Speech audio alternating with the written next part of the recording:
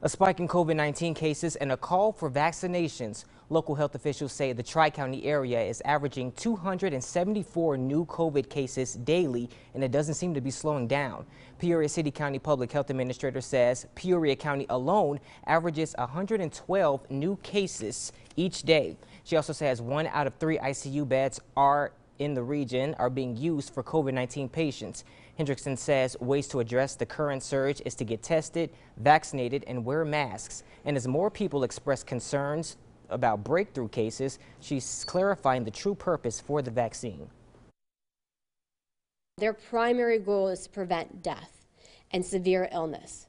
And so I, I, know we get maybe too comfortable thinking that it's supposed to do everything for us. It is a magic bullet. No. What it's meant to do is create barriers of protection so that we don't you know, inundate our hospital systems, our public health infrastructure. Hendrickson also says the over-the-counter COVID-19 tests are helpful to identify symptoms, but says they do not get reported to the health department or hospital systems. She says if you need a letter for why you're missing school or work, use a laboratory system such as hospitals, health departments, or CV CVS or the Civic Center.